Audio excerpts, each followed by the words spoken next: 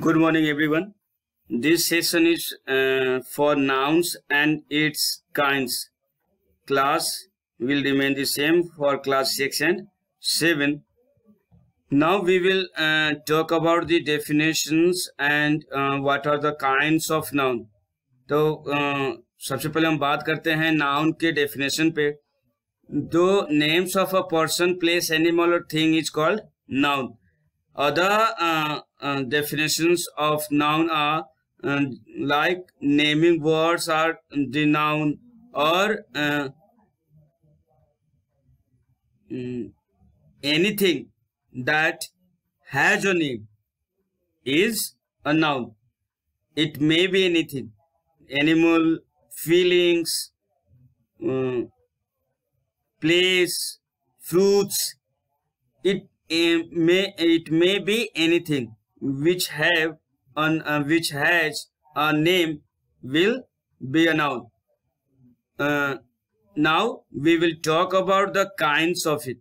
The kinds of noun are proper noun common noun collective noun material noun and abstract noun.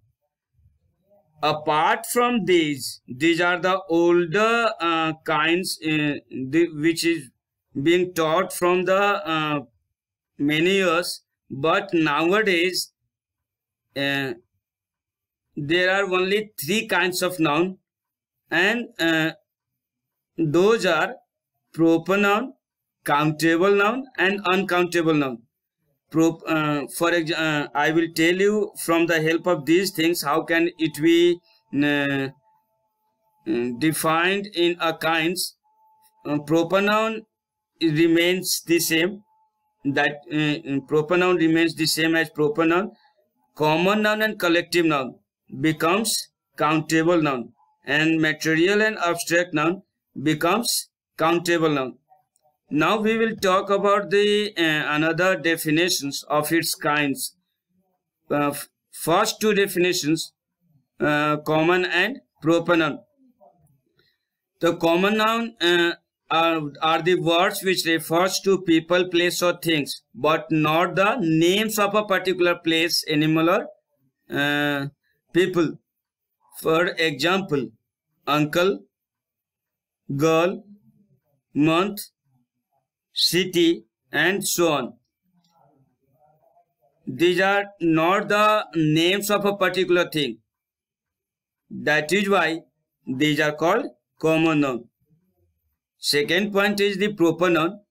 Proper noun are the names of a particular place, people or things.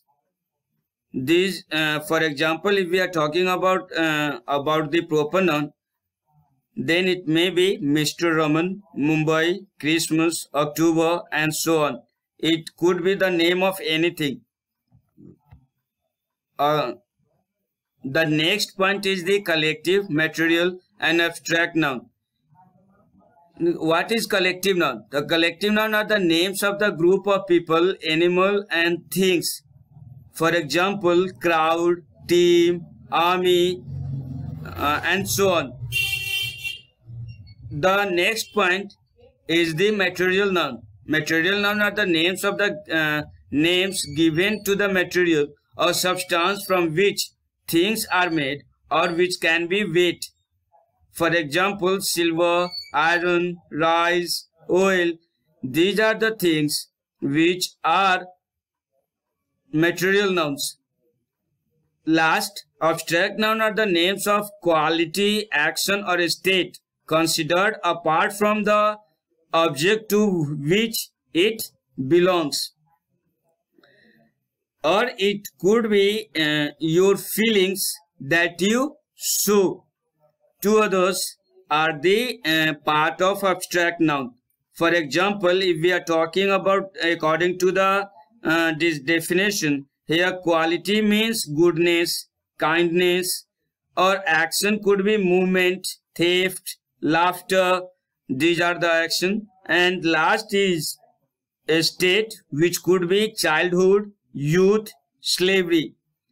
These are the uh, examples of abstract noun last which is could be the uh, which could be according to the uh, uh, new grammar countable and uncountable noun.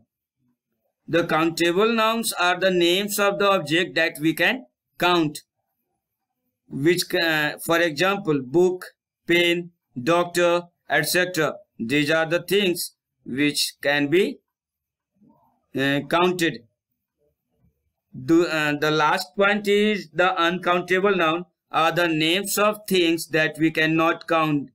For example, sugar, milk, honest, uh, etc. These are the things which cannot be counted. Um, for this session, this is the last point. Thank you for watching. Stay home and be safe.